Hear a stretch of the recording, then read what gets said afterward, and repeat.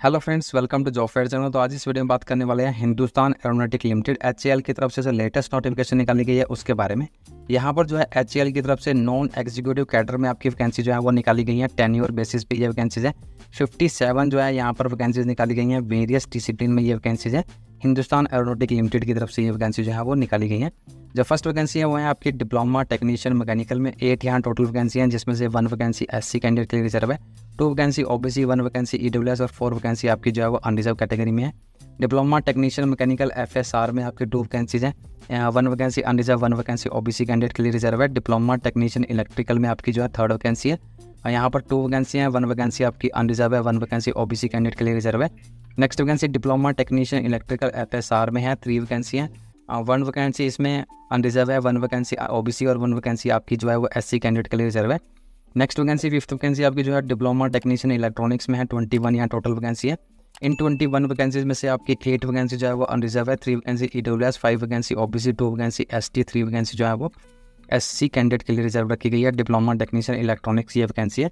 Next vacancy diploma technician electronics में है F S R fourteen total vacancy है five vacancy आपकी यहाँ पर जो है वो अनरिजर्व है two vacancy E W S four vacancy O B C one vacancy आपकी जो है वो एस टी टू वैकेंसी आपकी जो है वो एस सी कैंडिडेट के लिए रिज़र्व है। नेक्स्ट वैकेंसी जो है डिप्लोमा टेक्नीशियन केमिकल की है वन वैकेंसी है। ये वन वैकेंसी आपकी जो है वो अनरिजर्व कैटेगरी में है। Next vacancy operator electronic mechanic में है टू वैकेंसी है। वन वैकेंसी आपकी अनरिजर्व है वन वैकेंसी आपकी ओ बी सी कैंडिडेट के लिए रिज़र्व है। नेक्स्ट वैकेंसी ऑपरेटर फिटर की है वन वैकेंसी है वन वैकेंसी आपकी अनरिजर्व कैटेगरी में है। ऑपरेटर प्रिंटर की टू वैकेंसी हैं, जिसमें से one vacancy unreserved one vacancy OBC candidate के लिए रिज़र्व है। ऑपरेटर टर्नर की आपकी जो है वन वैकेंसी है और ये वैकेंसी जो है वो अनरिजर्व कैटेगरी में है ऑपरेटर टर्नर की। इस तरह से टोटल आपकी जो है वो फिफ्टी सेवन वैकेंसी जो है वो निकाली गई है यहाँ पर एच की तरफ़ से ये वैकेंसी है, जो असेंशियल क्वालिफिकेशन यहाँ रखी गई है। वो है आपकी अगर आप डिप्लोमा टेक्नीशियन के लिए अप्लाई करने वाले हैं पोस्ट वन के लिए तो यहाँ पर आपका फुल टाइम रेगुलर डिप्लोमा होना चाहिए मैकेनिकल इंजीनियरिंग में। अगर आप डिप्लोमा टेक्नीशियन मैकेनिकल के लिए अप्लाई करने वाले हैं एफएसआर में तो इसके लिए भी आपके पास फुल टाइम रेगुलर डिप्लोमा होना चाहिए मैकेनिकल इंजीनियरिंग में, किसी भी रिकोनाइज इंस्टीट्यूट स्टेट बोर्ड से आपने किया होना चाहिए। साथ ही साथ इसके अलावा अगर आप एक्स सर्विस मैन है Indian air force Indian army Indian navy के, तब भी आप इस एप्लीकेशन के लिए अप्लाई कर सकते हैं with basic diploma in engineering अगर आपने कर रखा है तब। आपके पास वर्क एक्सपीरियंस है एयरक्राफ्ट रडार तो आपको जो है वो प्रेफरेंस दी जाएगी। Next vacancy third vacancy diploma technician electrical के लिए अप्लाई करने वाले हैं तो फुल टाइम रेगुलर डिप्लोमा होना चाहिए इलेक्ट्रिकल इंजीनियरिंग में। इलेक्ट्रिकल एंड इलेक्ट्रॉनिक्स इंजीनियरिंग में भी अगर आपने कर रखा है, तब भी आप इस एप्लीकेशन के लिए अप्लाई कर पाएँगे।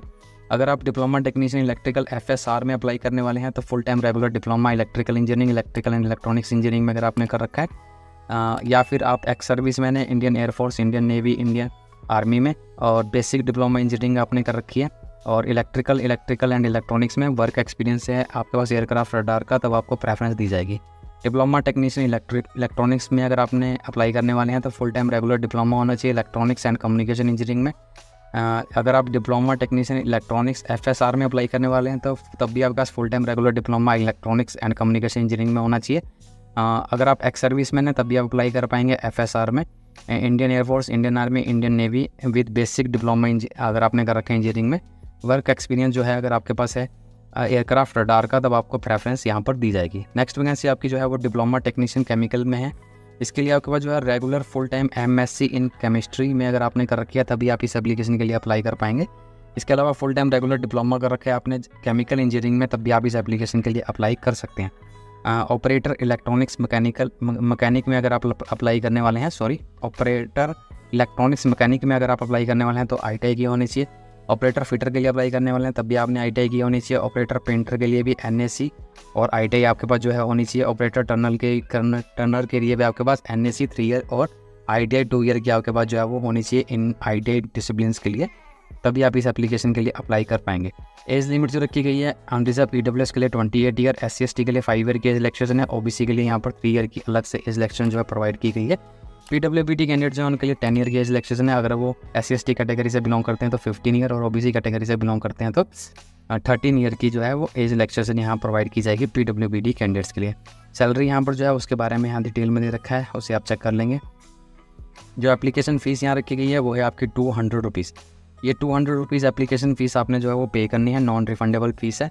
पर अगर आप अगर आप रिज़र्व कैटेगरी से हैं S C S T P W B D या फिर एक्स अप्रेंटिस आपने कर रखी है एचसीएल हैदराबाद से, तब आप इस एप्लीकेशन के लिए किसी भी तरह की कोई एप्लीकेशन फ़ीस पे नहीं करेंगे। पर अगर आप unreserved O B C O B C non creamy layer E W S category से बिलोंग करते हैं तो टू हंड्रेड रुपीज़ आपने एप्लीकेशन फ़ीस यहाँ पे करनी है। दो सौ रुपये आपकी एप्लीकेशन फ़ीस रहेगी। एक्स अप्रेंटिस और S C S T P W B D candidate जो है, उनके लिए किसी भी तरह की कोई एप्लीकेशन फ़ीस यहाँ नहीं रखी गई है।